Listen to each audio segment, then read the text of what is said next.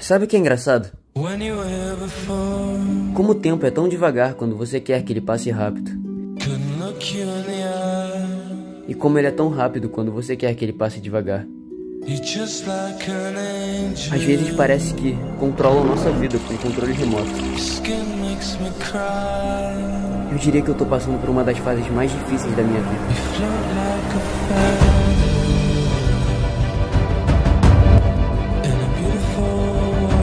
Quer dizer, eu já tenho 18 anos. O que, que eu fiz de significante? Se eu morresse amanhã, ninguém ia se lembrar de mim. Não tá sentindo? Sinta a energia. Tô sentindo, vamos lá. Amigo, há um mundo a ser conquistado por você.